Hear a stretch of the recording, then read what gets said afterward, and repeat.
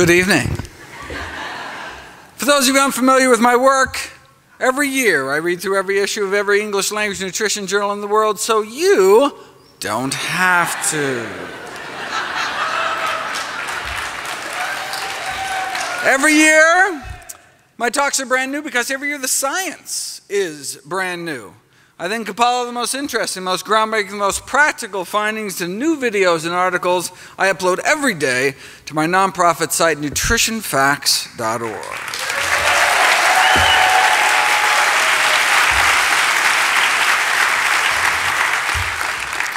Everything on the website is free. There's no ads, no corporate sponsorship, strictly non commercial, not selling anything. Just put it up as a public service, as a labor of love. New videos and articles every day on the latest in evidence based nutrition. In my 2012 review, I explored the role diet may play in preventing, treating, and reversing our deadliest diseases. In 2013, I covered the most common conditions. In 2014, I went through our leading causes of disability. This year, I'd like to address some of our most dreaded diseases and cancer tops the list in the latest Gallup poll. The number one cancer killer in the United States of both men and women is lung cancer. But if you look at the rates of lung cancer around the world, they vary by a factor of 10. If there's nothing we could do to prevent lung cancer, you'd assume the rates would be about the same everywhere. I mean, if it just happened kind of randomly. But since there's a huge variation in rates, uh, you assume there's some contributing cause. And indeed, we now know that smoking is responsible for 90% of lung cancer cases. So if you don't want to die the number one cancer killer by just not smoking, you can take 90% of your risk and throw it out the window. Colorectal cancer is our second leading cause of cancer death, and for that, there's even even bigger spread around the world. So it appears colon cancer doesn't just happen, something makes it happen. Well, if our lungs can get filled with carcinogens from smoke, maybe our colons are getting filled with carcinogens from food. Why do African Americans get more colon cancer than native Africans? Why that population? Because colon cancer is extremely rare in native African populations, like more than 50 times lower rates than Americans, white or black. And we used to think it was all the fiber that they were eating. However, the modern African diet is highly processed, low in fiber, yet there's been no dramatic increase in colon cancer rates. And we're not just talking low fiber intake, we're talking United States of America low fiber intake, down to around half the recommended daily allowance. Yet colon disease remains rare in Africa, still 50 times less colon cancer. Maybe it's because they, they're thinner and exercise more.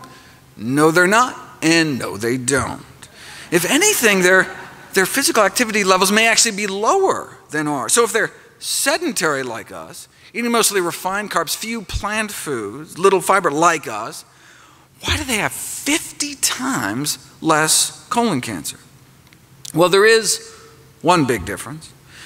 The diets of both African Americans and Caucasian Americans is rich in meat, whereas the native African's diet is so low in meat and saturated fat.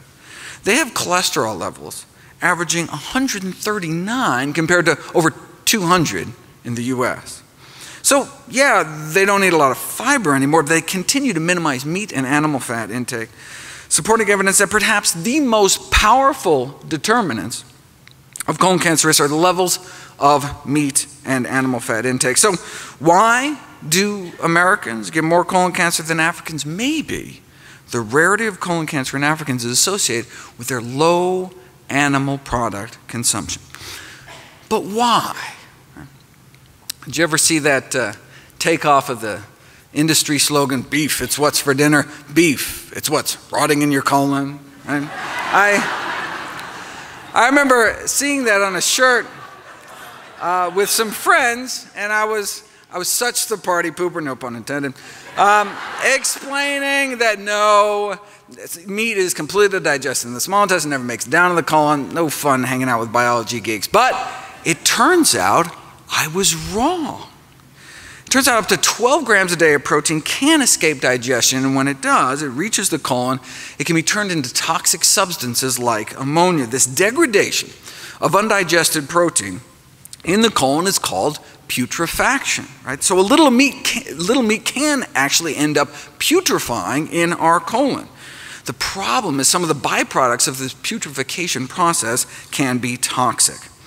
The same thing happens with other animal proteins. If you eat egg whites, for example, some of that can putrefy too. You say, well, what are you saying? There's protein in plants too. Ah, the difference is that animal proteins tend to contain more sulfur containing amino acids like methionine, which is found concentrated in uh, fish and chicken, than eggs, less in dairy and beef, but much less in plant foods, which can be turned into hydrogen sulfide in the colon, the rotten egg gas that beyond that doesn't just smell bad, but can produce changes in the colon that increase cancer risk. Now, there's a divergence of opinion as to whether it's the animal fat, cholesterol, or animal protein uh, that's most responsible for the increased cancer risk. But, uh, you know, as all three has been shown to have carcinogenic properties, but, I mean, does it really matter since the diet high in one is, is high in the others? But the protein does more than just putrefy, though. Animal protein consumption causes an increase in blood levels of cancer promoting growth hormone called IGF 1. But remove meat, egg white, and dairy proteins from our diet, and our bloodstream can suppress cancer cell growth about eight times better.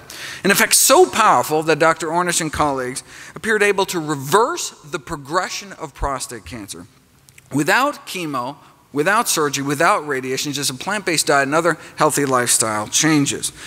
The link between animal protein and IGF 1 may help explain why those eating low carb diets tend to die sooner. But not just any low carb diet, specifically those based on animal sources, whereas actually vegetable based low carb diets were associated with a lower risk of death. Right? But meat based low carb diets are high in animal fat as well. So, how do we know it wasn't the saturated fat and cholesterol that was killing people off? It had nothing to do with the animal protein. Mean, what we need is a study that, you know, follows a few thousand people and their protein intakes out for, you know, 20 years or so and just see what happens. Who gets cancer, who doesn't, who lives longer.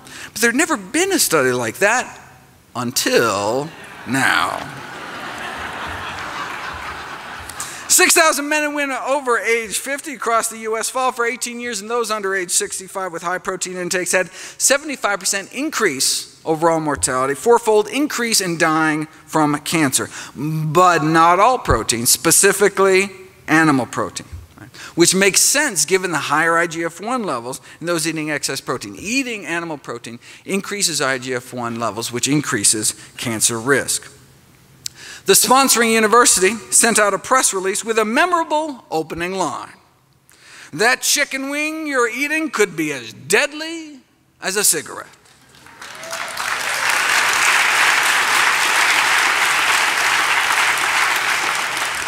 Explaining that eating a diet rich in animal protein during middle age makes you four times more likely to die of cancer, a mortality risk factor comparable to smoking.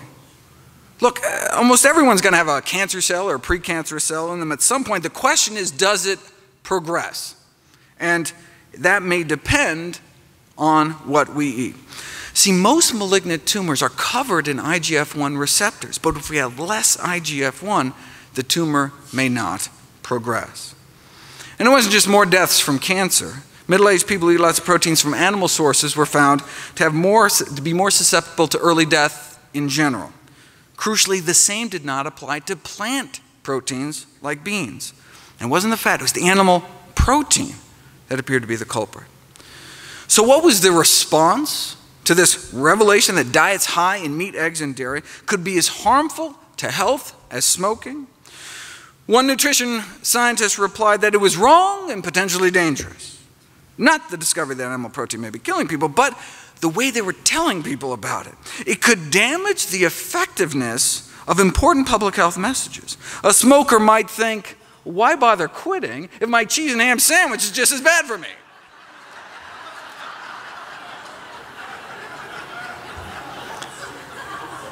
You know, that reminds me of a famous Philip Morris cigarette ad that tried to downplay the risks by saying that you think secondhand smoke is bad, increasing the risk of lung cancer 19%, drinking one to two glasses of milk every day may be three times as bad, 62% increase lung cancer risk. Or doubling the risk frequently cooking with oil. Or tripling your risk of heart disease eating non vegetarian. Or multiplying your risk sixfold eating lots of meat and dairy. So they conclude let's keep some perspective.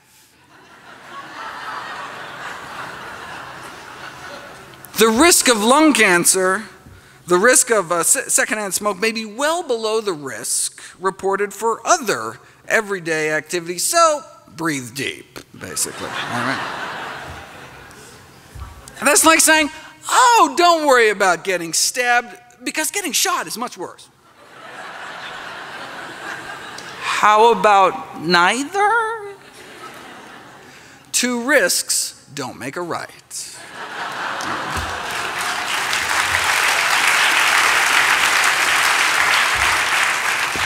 Though you'll note when Philip Morris bought Kraft, they stopped throwing dairy under the bus. So, the heme in the ham may also play a role. Heme iron is the form of iron found in blood and muscle and may promote cancer by catalyzing the formation of carcinogenic compounds. Cancer has been described as a ferrotoxic disease, a disease in part of iron toxicity. Iron is a double edged sword. Iron deficiency causes anemia, but excessive iron may increase cancer risk by acting as a pro-oxidant oxidant generating free radicals that may play a role in a number of dreaded diseases like stroke. But look, only the heme iron, the blood and muscle iron, right? not the non heme iron that predominates in plants. Same with heart disease, only the heme iron. Same with diabetes, only the heme iron. And same with cancer. In fact, you can actually tell how much meat someone is eating by looking at their tumors. To characterize the mechanisms underlying meat-related lung cancer development, they asked lung cancer, they asked lung cancer patients how much meat they were eating and examined the gene expression patterns in their tumors and identified a signature pattern of heme-related gene expression. Though they just looked at lung cancer, they expect these meat related gene expressions uh, changes to occur in other cancers as well. The safest form of iron then is non heme iron, found naturally in abundance and whole grains, beans, split peas, chickpeas, and lentils, dried fruit, nuts, and seeds. How much money can be made on beans, though? So the food industry came up with blood based crisp bread made out of rye and cattle and pig blood one of the most concentrated sources of heme iron, about two thirds more than chicken blood, though. If blood based crackers don't sound appetizing, they do have cow blood cookies or uh, blood filled biscuits. The, the filling does end up dark colored, chocolate flavored, chocolate flavored paste with a very pleasant taste. Dark colored because spray dried uh, pig's blood can have a darkening effect on food product's color, but the worry is not the color or the taste, it's the heme iron, which, because of the potential cancer risk, is not considered safe to add to foods for the general population. This reminds me of nitrosamines, a class of potent carcinogens found in cigarette smoke. They are considered so toxic that carcinogens of this strength in any other consumer product destined for human consumption would be banned immediately. And if that were the case, they would have to ban meat. One hot dog has many nitrosamines and nitrosamines as five cigarettes. And these carcinogens are also found in fresh, unprocessed meat as well beef, chicken, pork. But practice meatless Mondays, and you can wake up Tuesday morning with nearly all these carcinogens washed out of your system. So toxic, nitrosamines should be banned immediately, but are still allowed for sale in cigarettes and meat because the carcinogens are found there naturally, right? It'd be illegal to add them, but hey, if they're found there, right? Just like the heme iron, not safe enough to expose the general population to, but allowed for sale at the deli counter. The irony is that the iron and the protein are what the industry boasts about, right? Those are supposed to be the redeeming qualities of meat, right? Protein and iron. But sourced from animal foods may do more harm than good. And that's not to mention all the other stuff, like the saturated fat and industrial pollutants and hormones that may play a role in our third leading cancer killer, breast cancer. Steroid hormones are unavoidable in food of animal origin, but cow milk may be a particular concern. The hormones naturally found in even organic cow's milk may have played a role in the studies that found that a relationship between milk and dairy products with human illnesses, not just like teenagers' acne, but prostate, breast, ovarian, and uterine cancers, many chronic diseases plaguing the Western world, as well as male reproductive disorders, from an increased risk of early puberty all the way to endometrial cancer in older women. But hormonal levels in food could be particularly dangerous in the case of vulnerable populations such as young children and pregnant women, in which even a small hormonal intake could mean a large change in metabolism. Look, dairy milk evolved to put a few hundred pounds onto a calf, right? But the consequences of, of a lifetime of human exposure to growth hormones in milk has not been well studied. Look, we know milk consumption increases IGF 1, which is linked to cancer, and we're milking cows while they're pregnant, um, uh, leading to particularly high levels of hormones. Although dairy products are an important source of hormones, other products of animal origin must be considered as well. This could explain why women can cut their breast cancer risk more than half by not just being normal weight and limiting alcohol, but also eating mostly foods of plant origin. Now, to help differentiate the effects of diet from other behaviors like smoking, drinking on overall cancer incidence, Adventists were compared to Baptists. Now, both discourage alcohol and tobacco, but Adventists go further, encouraging reduction of meat. In general, the Adventists had less cancer than the Baptists, and within Adventist populations, the vegetarians did even better, and those eating the most plant based did the best. All edible tissues of animal origin contain estrogen. This may explain why women avoiding all animal products have a twinning rate which is one fifth that of vegetarians and omnivores. It appears vegan women have five times fewer twins, presumed to be because they're not exposed to all these hormones in the diet.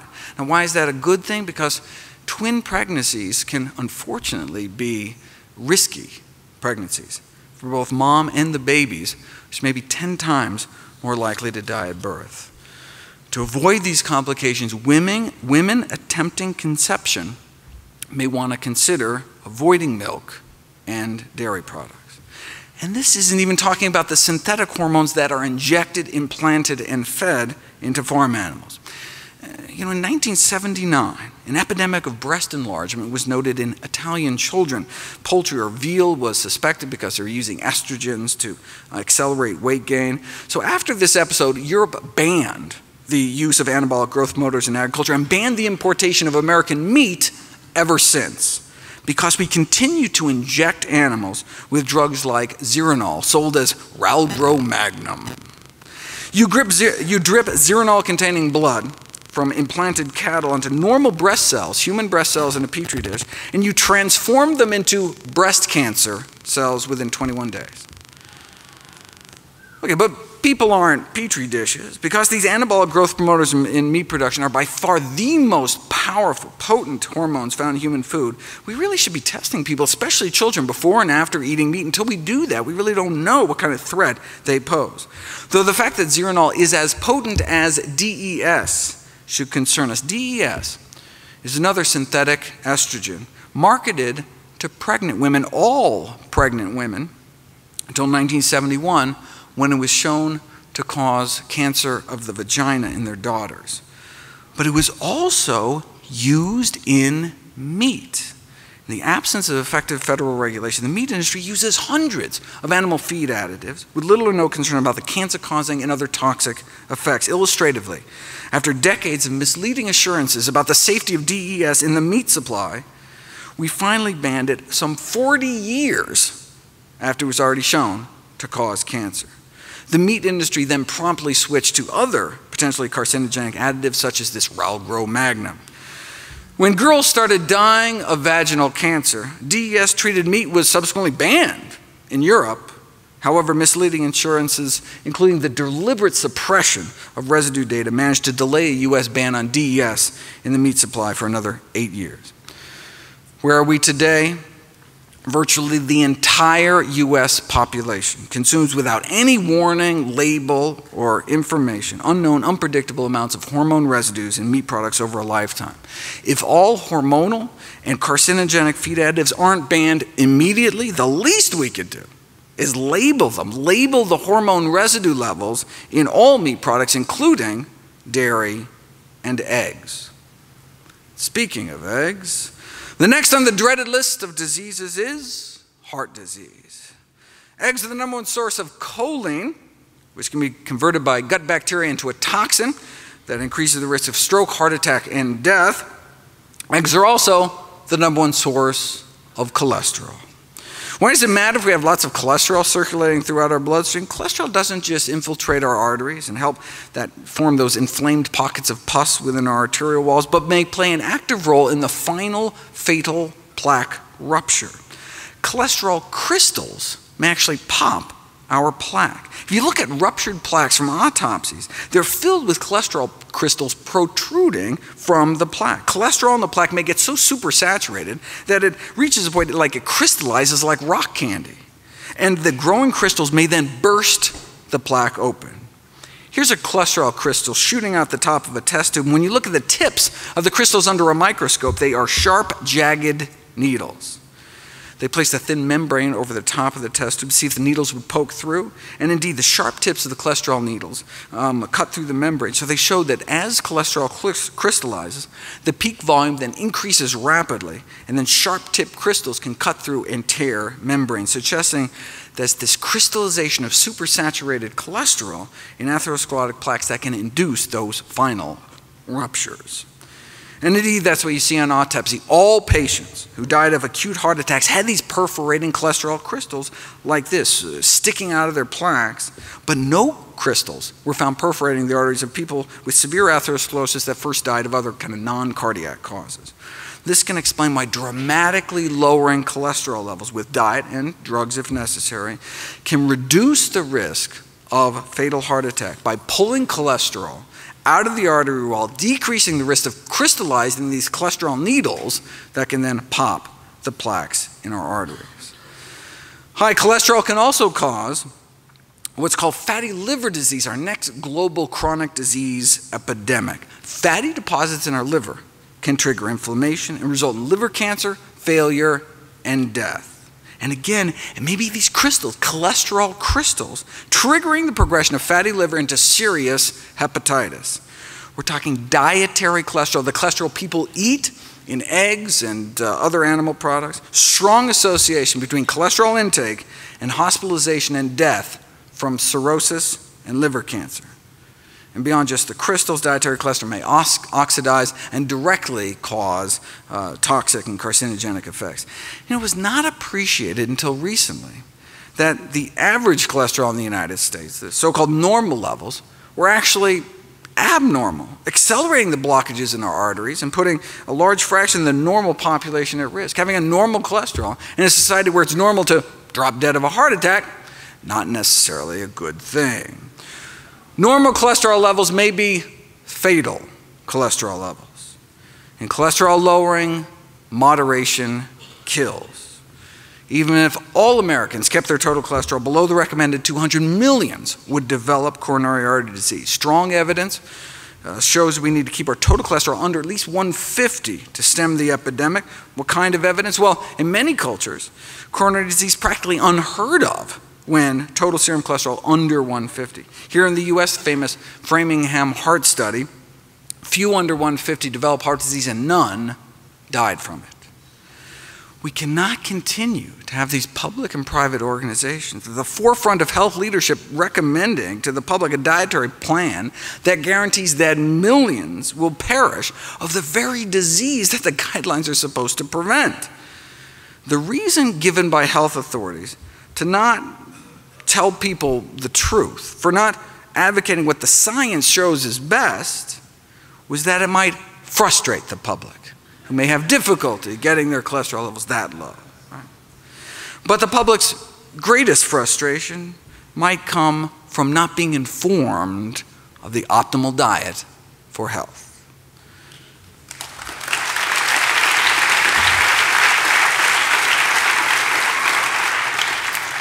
Heart disease can be reversed with a plant based diet. The evidence justifies igniting a social movement. Let the people lead, and eventually the government will follow. You know, some criticize plant based diets for being extreme. You want extreme, though? Check out the consequences of our present diet. Having a breastbone sawed in half for bypass surgery, or having a stroke that renders one mute, or having a breast, colon, prostate, or rectum removed for cancer. Now that's extreme. Bean burrito, easy, right?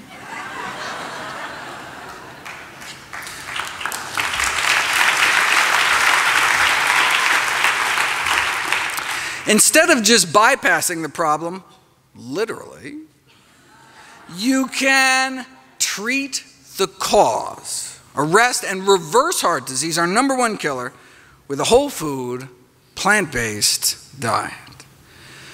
Next on the list is arthritis, such as rheumatoid arthritis, chronic inflammatory systemic disorder causing progressive destruction of the joints. As many as 80% become disabled, can cut 18 years off one's lifespan. There are drugs, but unfortunately, they're often associated with severe side effects blood loss, bone loss, immunosuppression, toxicity to liver and eyes. There's got to be a better way. Well, populations that eat more meat do seem to have more rheumatoid arthritis, and you know, there have been some dramatic case reports of rheumatoid arthritis attacks being triggered by consumption of animal products, uh, starting about six to 10 hours after ingestion of animal protein, lasting a few days, but they stop when patients stop consuming animal products. The researchers suggest that immune complexes formed by the body attacking animal proteins may uh, promote autoimmune reactions inside the joints themselves, and indeed, those with rheumatoid arthritis have striking elevations in antibodies to foods like fish, pork, egg whites, dairy proteins, and uh, even some cereals. It could also be because of a pro inflammatory effect of meat fats or free radicals from the iron accumulating in the joints or other mechanisms. But look, case reports, country by country analyses can really only raise questions. To prove cause and effect, you need an interventional study to put it to the test. Here we go 13 month long randomized controlled trial, plant based diets for rheumatoid arthritis. Patients put on a vegan diet for three and a half months and then switched to an egg free vegetarian diet for the remainder. Compared to the control group that didn't change their diet, the plant based group significant improvement in morning stiffness within the first month, cutting the number of hours they suffered from joint stiffness in half, a drop in pain, a drop in disability. They reported uh, subjectively just feeling better, significant improvement in their grip strength, fewer tender joints, fewer tenderness per joint, and less swelling. They also had dramatic drops in inflammatory markers in the blood, SED rate, C reactive protein, white count, highly significant and clinically relevant findings. What about osteoarthritis, most frequent cause of physical disability among older adults, affecting about 20 million Americans, affecting maybe 20% of Americans in the coming decades, becoming more and more widespread among younger people. You know, osteoarthritis is characterized by loss of cartilage within the joint. And we used to think it was just kind of wear and tear, uh, but it's now generally accepted it's an active joint disease with an inflammatory component. So if the loss of cartilage is caused by inflammation, maybe if we put people on an anti-inflammatory diet, it could help, like with rheumatoid arthritis. Using optimal nutrition and exercise as a first line intervention could well be the best medical practice. So, where's the best science on what optimal nutrition might look like? The China study is a prime example, showing the serious health consequences. The serious health consequences of high consumption of pro inflammatory foods, meat, dairy, fat, and junk. And low consumption of anti-inflammatory plant foods, right? whole grains, vegetables, fruits, beans, split peas, chickpeas, lentils. The unnatural Western diet contributes to this low-grade systemic inflammation, oxidative stress, tissue damage, irritation, placing the uh, immune system in this kind of overactive state, which can be kind of a common denominator for these conditions like arthritis. Next on the list is stroke and high blood pressure. We go together because high blood pressure, number one risk factor for stroke. The Predimed study found that a Mediterranean diet with nuts could cut stroke risk nearly in half, though they were still having strokes. Right? Half as many strokes, but it was still a stroke promoting diet um, uh, and heart attack promoting as well. So that's what Dr. Ornish noted when he wrote in no significant reduction in the rates of heart attack, death from cardiovascular disease, death from any cause, just that stroke benefit. But hey, I mean, that's, that's something. I mean, Mediterranean diet is certainly better than what most people are consuming, but even better, maybe a diet surrounding whole plant food shown to actually reverse heart disease, not contribute to it. That may be true, the authors of the study reported, but the major problem with Ornish's diet is eh, it just doesn't taste good, so hardly anyone sticks to it. But it's not true. Ornish got extraordinary adherence in his studies with no difference in any of the acceptability measures, same enjoyment compared to their regular diet. They even had success in barbecue country, rural North Carolina. See, stricter diets may meet greater acceptance among patients than more modest diets because they may work better. Greater adherence means greater disease reversal. But you don't have to be facing certain death. Even those young and healthy, no health problems, had no problem sticking to a plant based diet. In fact, it worked a little too well. This is a crossover study where they ask people to eat a plant-based diet for a few months and then go back to their original diet to note the contrast, right? But people felt so good eating healthy. Some of them refused to go back to their regular diet, which, which kind of, it actually messes up the study.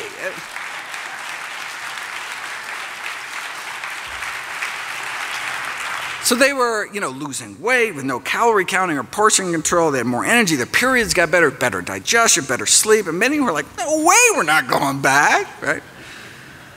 But if doctors just presume people aren't going to eat this way, self fulfilling prophecy. Just like smoking doctors are less likely to tell their patients to stop smoking, and couch potato docs are less likely to counsel exercise or things like fruits and vegetables, we need to role model healthy behavior.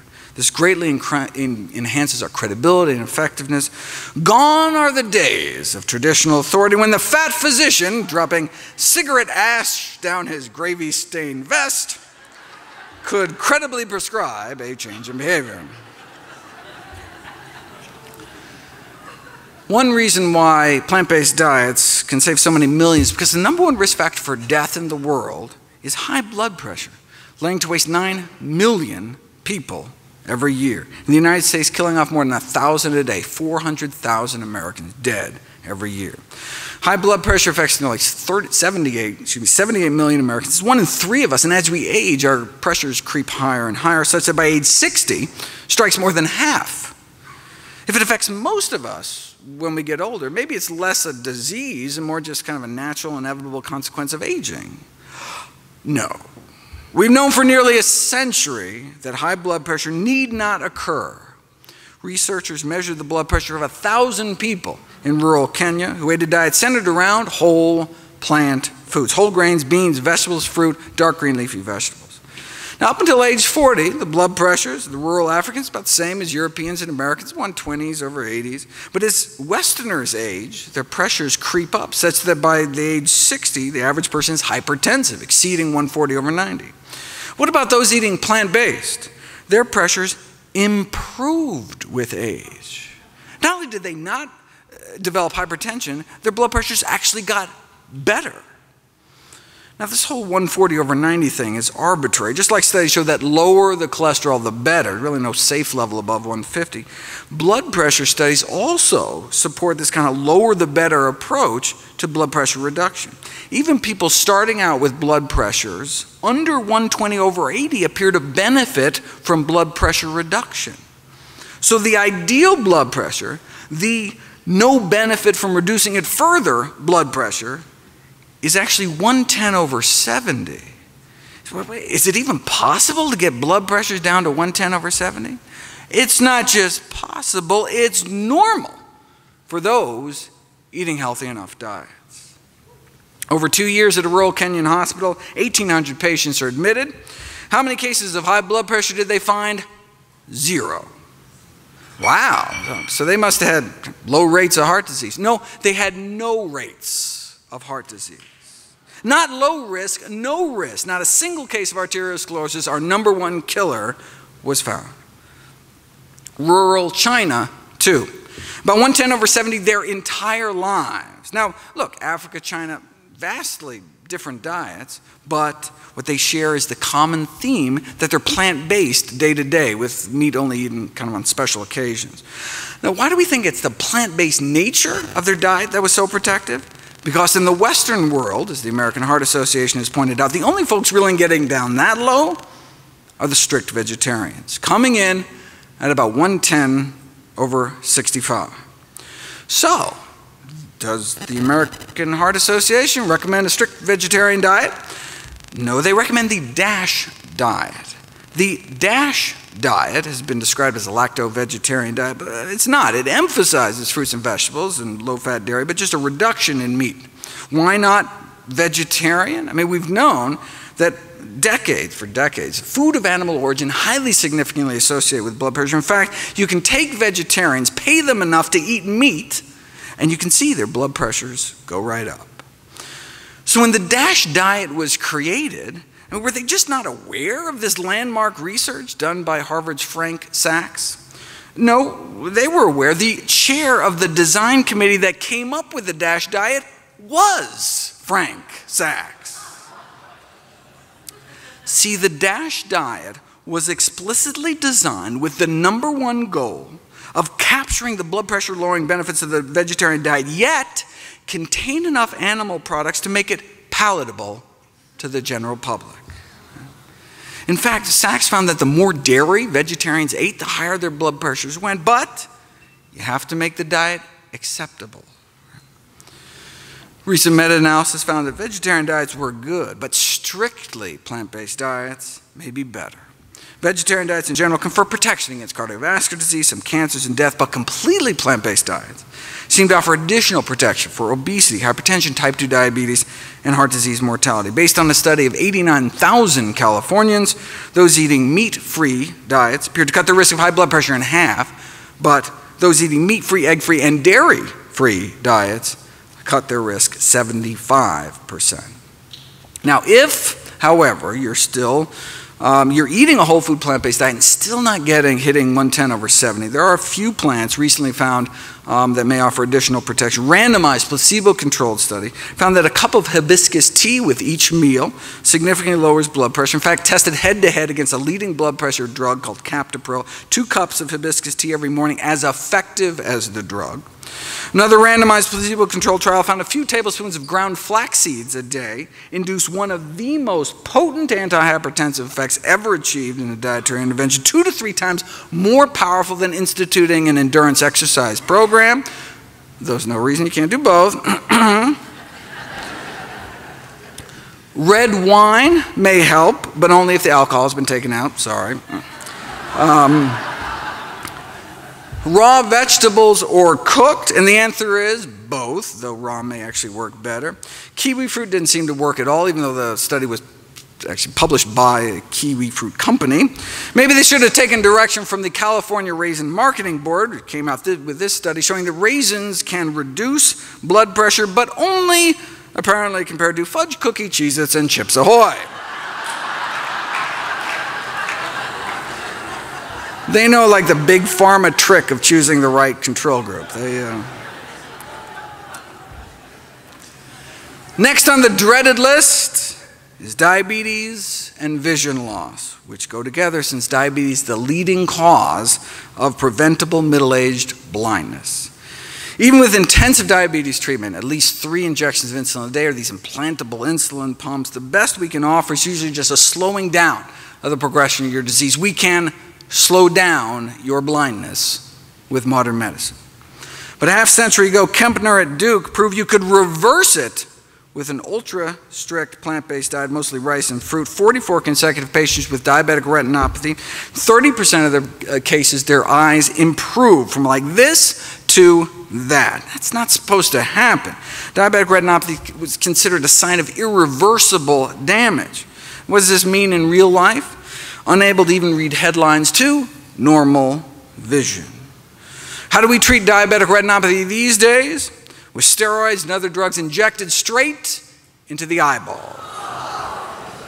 And if that doesn't work, there's always pan-retinal laser photocoagulation, which laser burns are placed over nearly the entire retina. surgeons literally burn out the back of your eyeball. Now, why would they do that? Well, one theory is about if you kill off most of the retina, the little remaining piece you have will get more of the blood flow. Now, when I see this, along with Kempner's work, I can't help but feeling like history's been reversed. Like, yeah, can you believe 50 years ago we had that barbaric burn out your socket surgery? But now, thankfully, we know that through dietary interventions alone, you know, we can sometimes reverse the blindness, right? But instead of learning, medicine seems to have forgotten.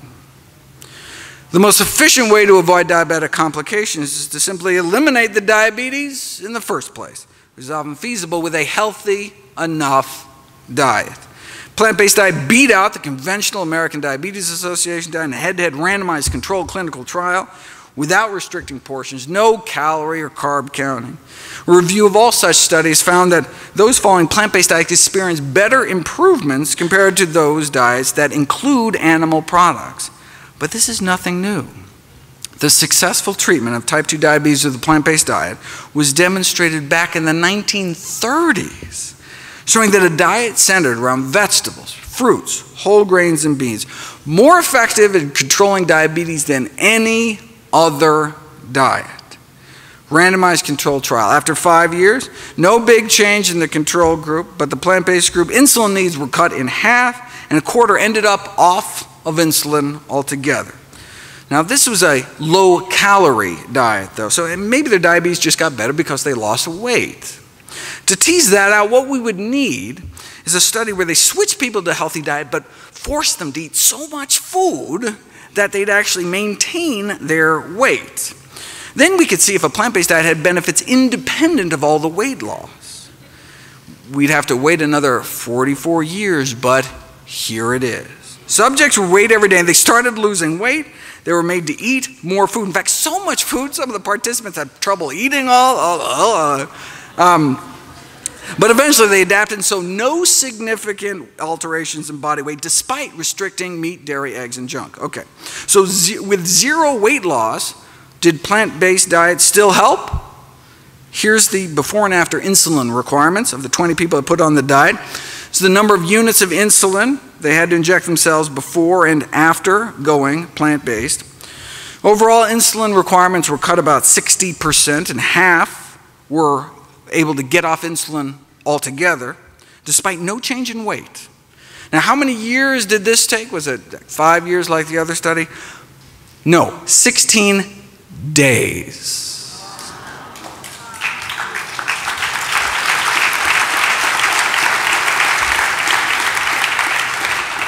So we're talking diabetics who have had diabetes for as long as 20 years, injecting as much as 20 units of insulin a day, and then as few as 13 days later, they're off insulin altogether, thanks to less than two weeks of a plant based diet. Diabetes for 20 years, then off all insulin in less than two weeks. Here's patient 15, 32 units of insulin on the control diet, and then 18 days later on none. Lower blood sugars on 32 units less insulin. That's the power of plants. And as a bonus, their cholesterol dropped like a rock too in 16 days to under 150. You know, just like moderate changes in diet usually result only in modest reductions in cholesterol, you know, asking patients with diabetes to make moderate changes achieves equally moderate results, which is one possible reason they end up on drugs, injections, or both. Right? Everything in moderation is a truer statement than people realize. Moderate changes in diet can leave one with moderate blindness, moderate kidney failure, moderate amputations. Maybe just a few toes. Moderation in all things is not necessarily a good thing. The more we as physicians ask from our patients, the more we are likely to get. The old adage, shoot for the moon, seems to apply, may be more effective than limiting patients to small steps that may sound more manageable but not sufficient to actually stop the disease. The only thing better than reversing diabetes is not get it in the first place. You know, that study that purported to show that diets high in meat, eggs, and dairy could be as harmful to health as smoking supposedly suggested that men that people under 65 who eat lots of animal protein four times as likely to die from cancer or diabetes. But if you look at the actual study you'll see that's not true. Those eating a lot of animal protein didn't have just four times more risk of dying from diabetes. They had 73 times higher risk of dying from diabetes as one eats more and more plant based, there appears to be a stepwise drop in the rates of diabetes, down to 78% lower prevalence among those eating strictly plant based. Where protection building incrementally as one moved from eating meat daily to less than daily, right? To just fish, to no meat, to no eggs and dairy either. Similar pattern was found for the leading cause of vision loss among elderly, cataracts, right? This suggests it's not all or nothing. Any steps we can make towards eating healthier may accrue benefits. But why? Why is total meat consumption associated with higher risk of diabetes, especially processed meat, particularly poultry? Well, there's a whole list of potential suspects, culprits in meat. Yes, it may be the animal protein. Maybe it's the animal fat. Maybe it's the cholesterol. Maybe it's the iron leading to free radical formation, which can cause inflammation. Advanced glycation end products are another problem. They promote oxidative stress and inflammation, and food analyses show the highest levels of these so called glycotoxins are found in meat. Here are the 15 most contaminated foods found with glycotoxin contamination. Chicken, pork, pork, chicken, chicken, beef, chicken, chicken, beef, chicken, turkey, chicken, fish, beef, and McNuggets. I don't know if you can actually call that chicken, but all right. Though other foods from animal sources can also harbor these pro-oxidant chemicals. Now, in this study, they fed diabetics foods packed with glycotoxins uh, chicken, uh, fish, eggs, and their inflammatory markers shot up, like tumor necrosis factor, C reactive protein. Thus, in diabetics, these dietary AGEs can promote inflammatory mediators leading to tissue injury. Uh, the good news is that restricting these kinds of foods may suppress the inflammatory effects of these glycotoxins, may be kind of the missing link between increased consumption of animal fat and meat and the subsequent development of type 2 diabetes in the first place, as well as Alzheimer's disease, the final disease on our dreaded list. Dietary AGEs appear to be important risk factors for Alzheimer's disease as well. If you measure the urine levels of glycotoxins flowing through the bodies of older adults, those with the highest levels went on to suffer the greatest cognitive decline over the subsequent nine years as well as the greatest brain shrinkage, uh, it's called cerebral atrophy, all helping to explain why those who eat the most meat may have triple the risk of getting dementia compared to long-time vegetarians. The bottom line is that the same diet that may help prevent the other dreaded diseases, cancer, heart attacks, arthritis, stroke, high blood pressure, diabetes, vision loss, may also help prevent brain loss and Alzheimer's as well. You know, one disease is not on the list uh, is ALS, or Lou Gehrig's disease, which strikes healthy middle-aged people seemingly at random, holds little help, hope for treatment and survival. Although mental capacities stay intact, ALS paralyzes people. And most patients die within three years when they can no longer breathe or swallow. At any given time, 30,000 Americans are fighting for their lives. We each have about 1 in 400 chance of getting this disease in our lifetime. And it appears to be on the rise around the world. What causes it? Well, there's a neurotoxin produced by blue green algae in our rivers, lakes, and oceans that ends up in seafood, which is currently a strong contender as the cause of, or at least a major contributor to ALS and maybe Alzheimer's and Parkinson's as well. Researchers in Miami found this BMAA neurotoxin in the brains of Floridians that died of sporadic Alzheimer's and ALS. Uh, significant levels in 49 out of the 50 samples from Alzheimer's and ALS patients. Same thing was found up in the Pacific Northwest and in the brains of those dying from Parkinson's disease. Uh, you can also apparently pick up more of this neurotoxin in the hair of live ALS patients compared to controls. So, is this neurotoxin present in Florida seafood? Yes, in both freshwater fish, and shellfish, oysters, bass, etc., and out into the bay. Not just in Florida on up the eastern uh, the seaboard, out in the Midwest. So this could explain ALS clusters around lakes in New Hampshire, or fish in Wisconsin, or blue crabs from the Chesapeake around where I live, or seafood eaters in France, or in the Finland's Lakeland district, or around the Baltic Sea, building up particularly in fish, mussels, and oysters. There is a general consensus that these harmful algal blooms are increasing worldwide, thanks in part to industrialized agriculture, which may increase the exposure to this neurotoxin, leading to possible increased risk of these horrible neurodegenerative diseases. With substantial and ever growing evidence that this neurotoxin does play a role in the onset and progression of neurodegenerative diseases, the most important question is what mode does activity does BMAA exert?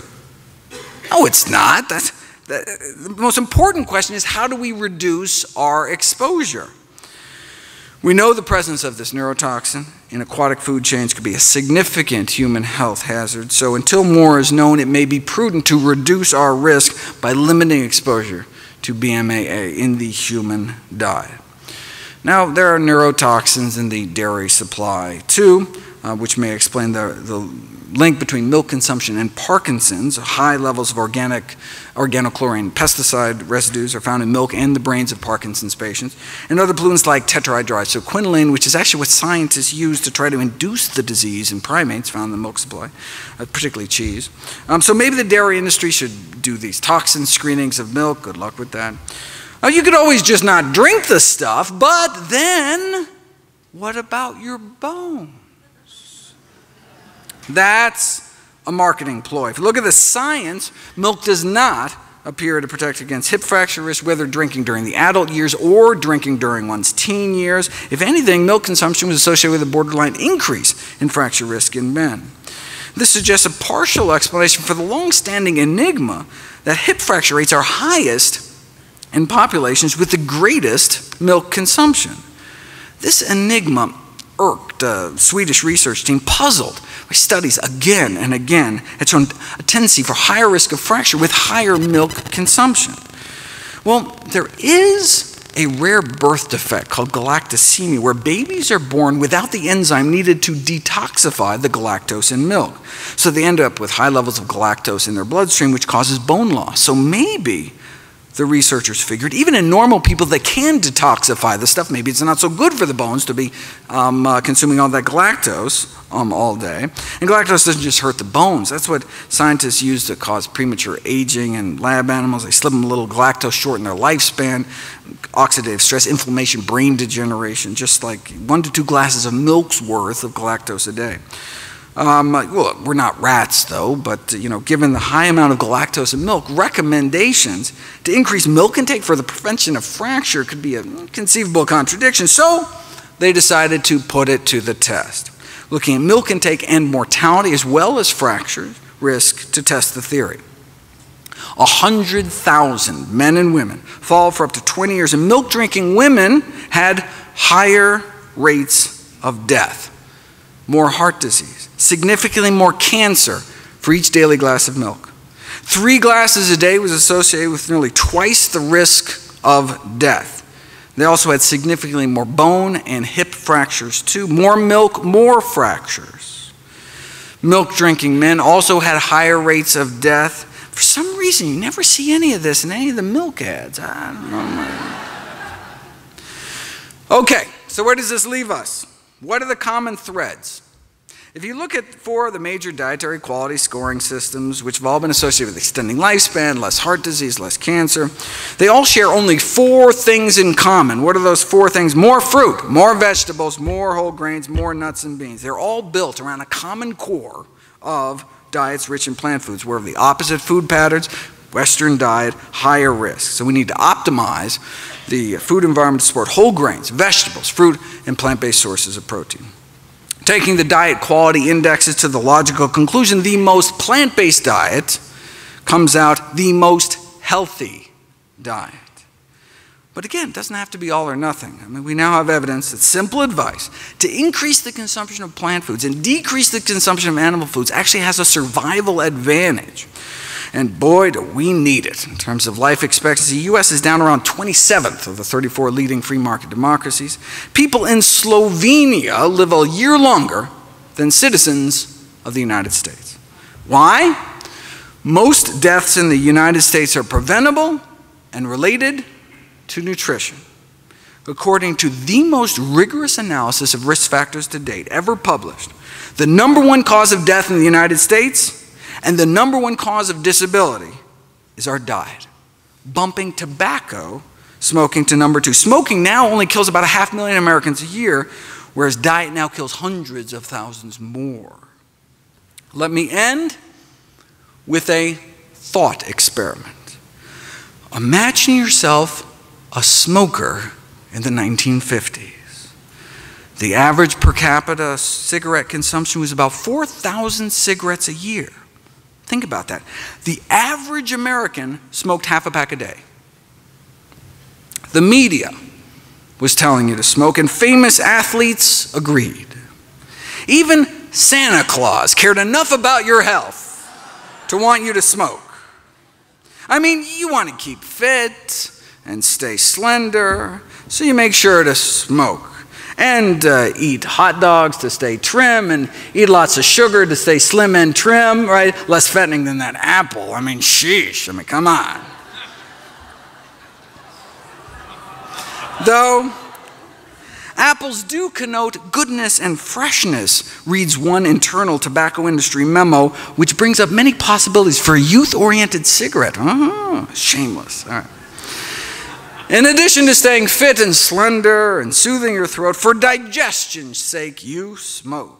I mean, no curative power is claimed for Philip Morris, but an ounce of prevention is worth a pound of cure, so safe than sorry, better smoke. like eating, smoking was a family affair. Gee, mommy, you sure enjoy your Marlboro. You're darn tootin'. Uh, just, just one question, mom. Um, uh, can you afford not to um, enjoy, smoke Marlboros. Your kids were giving you cigarettes in the 50s. Even your dog was giving you cigarettes. Blow in her face, and she'll follow you anywhere.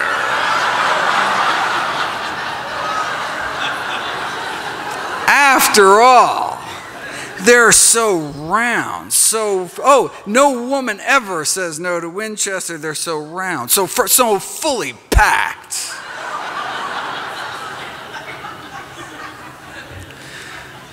After all, John Wayne smoked them until he got lung cancer and died. Even the paleo folks were smoking. And so were the doctors. Yes, uh, no, look, this is not to say there wasn't controversy within the medical profession. Yes, some, you know, doctors smoke camels, but uh, other physicians preferred Luckies, so there actually was disagreement. There was, you know, eminent doctors on high and impartial medical authority call for Philip Morris. Even the specialists could not agree which cigarette was better for your throat, so best to stick to the science, right? And more scientists smoke this brand, actually. That's the, this should not be rocket science, right? But even the rocket scientists have their own brand for the man who thinks for himself, right? What was the government saying? Smoke Luckies. I mean, who wouldn't want to give their throat a vacation, right? Not a single case of throat irritation. How could your nose or throat be adversely affected when cigarettes are just as pure as the water you drink? Look, and if you do get irritated, no problem. Your doctor can write you a prescription for cigarettes. This is from the Journal of the American Medical Association. After all, don't smoke is advice hard for patients to swallow. Reminds me of a recent survey of doctors found the number one reason doctors don't prescribe heart healthy diets today was their perception that uh, patients fear being deprived of all the junk they're eating. Right? After all, Philip Morris reminded us, we want to keep our patients happy. To make a radical change in habit would, would do harm. You're a doctor, you don't harm your patients. The tobacco industry gave, uh, gave, these medical journals big money to run ads like these. Not a problem, though Philip Morris claims come from completely reliable sources based on studies by recognized authorities uh, published in leading medical journals, even kindly offering to sell free, uh, free uh, packs of cigarettes to doctors so they can test them out themselves. So, see you at the next AMA convention in the Smokers Lounge. What did the American Medical Association have to say for itself? Well, like most other medical journals, they accepted tobacco ads. They have yet to see an autopsy, the uh, official editorial board said, uh, with a single lesion with a Marlboro lesion on it, right? A label on it. So when mainstream medicine is saying smoking on balance may be beneficial for you, when the American Medical Association is saying that, then where could you turn back then if you just wanted the facts? What's the new data advanced by science? Uh, she was too tired for fun, and then she smoked a camel. Babe Ruth spoke of proof positive medical science, that is, when he still could speak before he died of throat cancer. Now, some of the science did leak out, causing a dip from about 11 cigarettes a day per person down to about 10.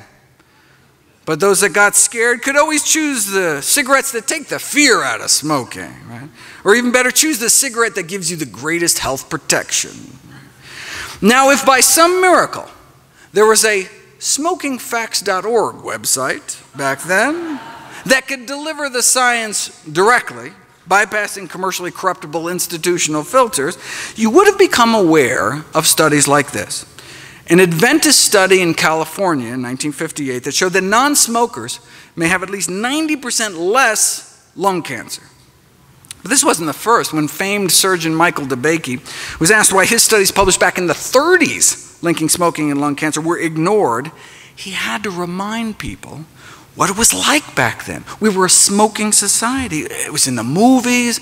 Medical meetings were one big haze of smoke. It's like debates over cigarettes and lung cancer in Congress taking place in smoke filled rooms, right? It makes me wonder what they serve at the Dietary Guidelines Committee breakfast buffets to this day, right?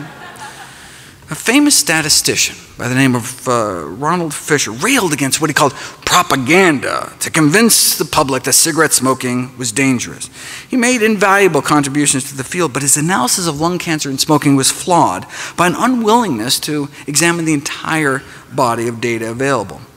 Now, his smokescreen may have been because he was a paid consultant to the tobacco industry, all right, but also because he himself was a smoker, right? Part of his resistance may have been to the association, may have been because of his own fondness for smoking, which makes me wonder about some of the favorite foods that nutrition researchers may have of this day, right? You know, it always strikes me as ironic that when vegetarian researchers come out forward and list their diet as a potential conflict of interest, whereas not once in the 70,000 articles on meat in the medical literature have I ever seen a researcher disclose their non vegetarian habits, right? Because it's normal, just like smoking was normal. So, back to our thought experiment. If you're a smoker in the 50s in the know, what do you do? With access to the science, you realize that the best available balance of evidence suggests that your smoking habit not good for you. Right? So, do you change your smoking habits or do you wait? If you wait until your physician tells you between puffs to quit, you may have cancer by then. If you wait until the powers that be officially recognize it, like the Surgeon General did in the subsequent decade, you could be dead by then. It took 25 years for the Surgeon General report to come out. It took more than 7,000 studies and the deaths of countless smokers before the first Surgeon General report against smoking was finally released in the 1960s. You'd think maybe after the first hmm, maybe 6,000 studies, it would have maybe give people a little heads up or something. Powerful industry. One wonders how many people are currently suffering needlessly from dietary diseases. Maybe we should have stopped smoking after the 700th study like this. With so much money and personal habit at stake, well, there's always going to be dissenters. But given the seriousness of the disease, the sum total of evidence, we shouldn't wait to put preventive measures in place. As a smoker in the 50s, on one hand, you had all of society, the government, the medical profession itself telling you to smoke. And on the other hand, the science, if you were lucky to know about studies like this. Right? Now, fast forward 55 years. You know, there's a new Adventist study out of California warning Americans about the risks of something else they may be putting into their mouth. It's not just that one study, right? According to the latest review, the total sum of evidence suggests that mortality from all causes put together, many of the dreaded diseases, ischemic heart disease, cerebrovascular diseases like stroke, significantly lower in those eating meat free diets in addition to less cancer and diabetes. So instead of going along with America's smoking habits in the 50s, imagine you or someone you know going along with America's eating habits today. What do you do?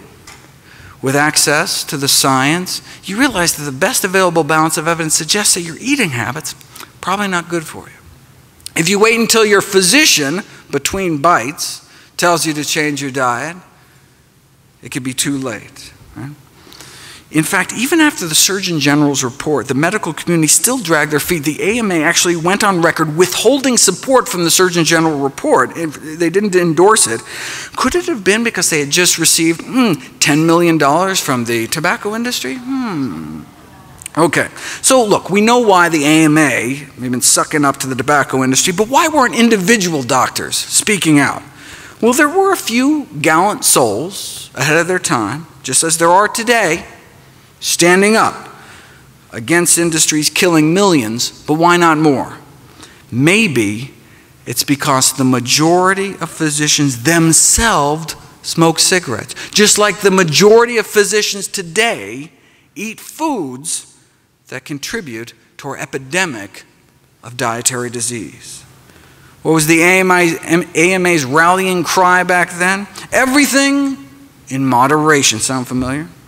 Extensive scientific studies prove smoking in moderation. Okay.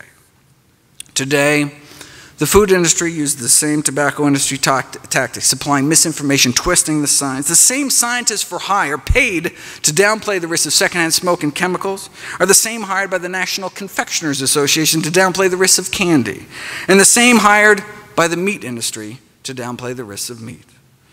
Consumption of animal products and processed foods cause at least 14 million deaths around the world every year. 14 million deaths. 14 million people dead every year. This is not a failure of individual will, willpower, says the Director General of the World Health Organization. This is a failure of political will to take on big business, which is a formidable opposition. Food governments are willing to prioritize health over big business. As we learned from the experience with the tobacco industry, a powerful corporation can sell the public just about anything. If there's one thing we learned from the tobacco experience, wrote one district judge, it's how powerful profits can be a motivator, even at the cost of millions of lives and unspeakable suffering. May have taken 25 years for the Surgeon General report to come out, still longer for mainstream medicine to get on board, but now there are no longer ads encouraging people to inhale to their heart's content. Now there are ads from the CDC fighting back. Food wise, there was meat for health defense, or nourishing bacon, or doctors prescribe meat, or soda for that matter. Thank heavens tricks are habit forming, right? Now, just like there were those in the 30s, 40s, and 50s on the vanguard trying to save lives, today there are those turning ads about what you can do with pork butt to what the pork can do to your butt. the Physicians Committee for Responsible Medicines Meat is the New Tobacco campaign. Right? As Dr. Barnard tried to get across in an editorial published in the American Medical Journal Association's um, uh, Journal of Ethics, uh, plant-based diets can now be considered the nutritional equivalent of quitting smoking. How many more people have to die, though?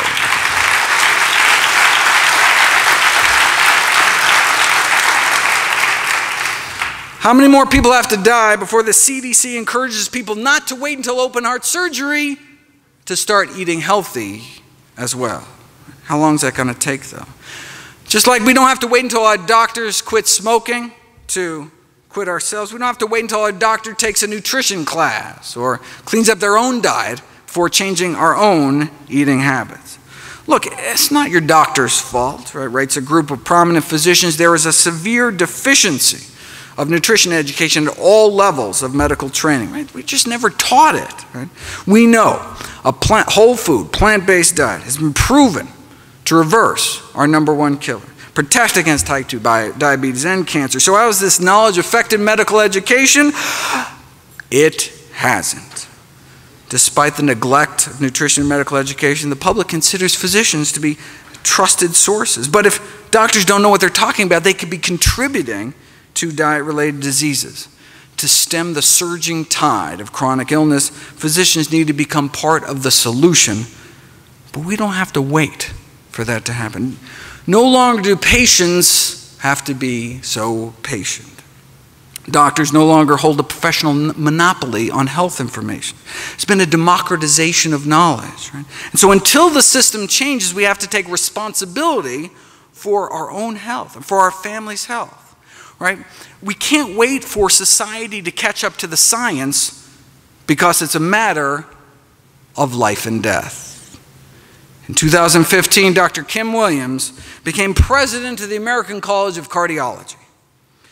He was asked why he follows his own advice to eat a plant based diet. He said, I don't mind dying, Dr. Williams replied. I just don't want it to be my fault. Thank you.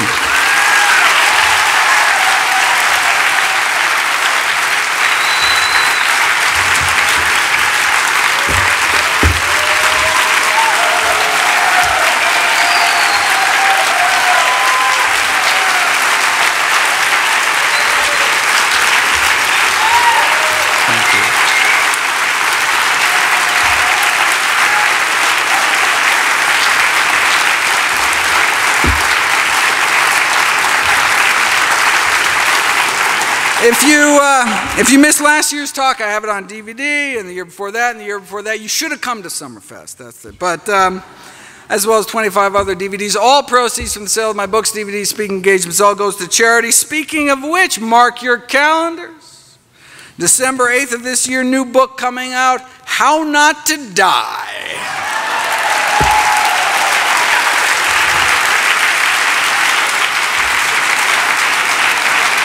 Uh, December 8th, very excited about not only a compilation of all my work with all the science, thousands of citations, but also a practical guide. I go through my kind of daily dozen checklist of all the things I try to include my own diet, how much greens to eat, how much beans to eat, how much exercise, how much sleep. I'm working on it for over a year. Can't wait for everyone to read it. And in the meantime, all my work is available free at nutritionfacts.org. Thanks again.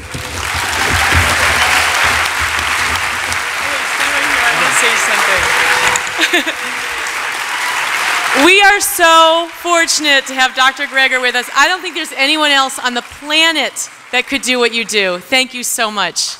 And we are honored for you to debut this with us every year. Thank you so much.